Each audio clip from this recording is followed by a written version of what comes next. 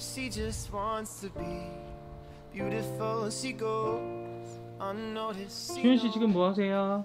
어? 저 지금 운동 가려고 운동복 고르고 있어요.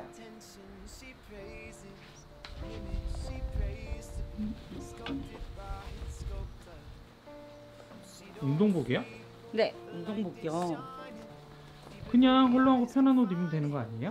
어, 요즘 누가 헐렁하고 편하게 옷을 입어요.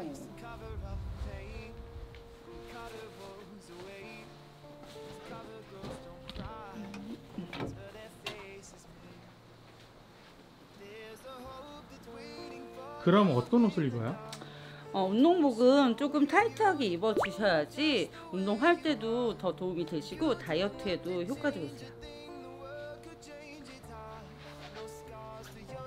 어, 안녕하세요. 그럼 주현 씨만의 운동복 고르는 팁 좀 알려주실 수 있나요?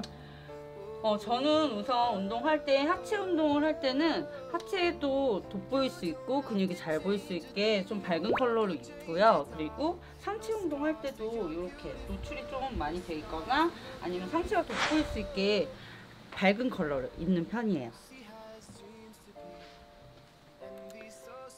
자, 홍지연의 헬스타임 여기까지. 안녕.